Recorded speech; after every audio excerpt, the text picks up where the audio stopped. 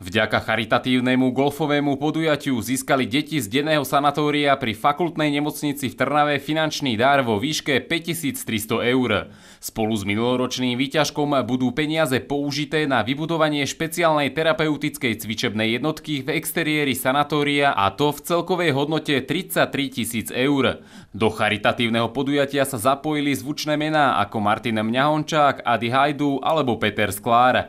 Tento dar je určený pre deti s detskou mozgovou obrnou, dýchacími a inými problémami. Denné sanatórium sa pripravuje tiež na rozsiahlu rekonštrukciu, ktorá bude financovaná zo zdrojov, ktoré na modernizáciu nemocnice vyčlenila vláda Slovenskej republiky na výjazdovom rokovaní v Špačinciach. Za 79 tisíc eur budú na sanatóriu vymenené okná, budova dostane nové nátery stien a bude opravená strecha.